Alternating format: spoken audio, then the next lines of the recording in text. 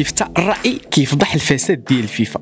والحارس بونو كيكتسح النتائج بفرق كبير على حارس الأرجنتين. اكتسح الحارس المغربي ياسين بونو نتائج استفتاء طلقو الاتحاد الدولي لكرة القدم في الصفحة الشخصية ديالو في تويتر باش يختاروا أفضل حارس في مونديال قطر 2022 وظهرت نتائج الاستفتاء سيطرة مطلقة للحارس المغربي ياسين بونو اللي حصل على معدل 90.7% متقدم فرق كبير على الحارس الأرجنتيني إيمانويل مارتينيز اللي حصل على نسبة 5.1% من بعد كيجي دومينيك ليفاكوفيتش حارس المنتخب الكرواتي اللي حصل على معدل 3.4% من بعد كيجي الحارس هوغو لوريس حارس المنتخب الفرنسي. في المركز الرابع معدل 0.8% لكن عكس هاد التوقعات كلها. القرار ديال الفيفا منح جائزة القفاز الذهبي لمارتينيز الحارس ديال المنتخب الأرجنتيني اللي كيعتبروه كان عنده دور كبير في فوز المنتخب الأرجنتيني بمونديال قطر.